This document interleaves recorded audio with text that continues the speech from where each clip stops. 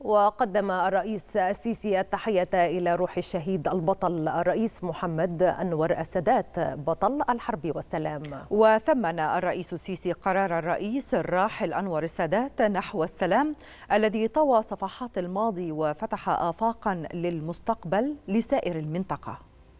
إن حرب أكتوبر المجيدة كان لها رجال سخرهم الله سبحانه وتعالى. لاتخاذ القرارات المصيرية التي غيرت خريطة التوازنات الإقليمية والدولية. ومن هنا فإنني أوجه التحية إلى روح الشهيد البطل الرئيس محمد أنور السادات.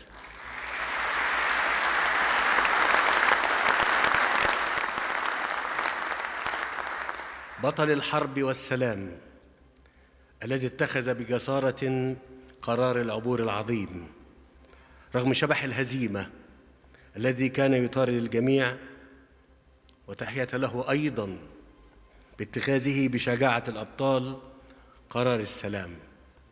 الذي طوى صفحات الماضي وفتح آفاق المستقبل لسائر المنطقة.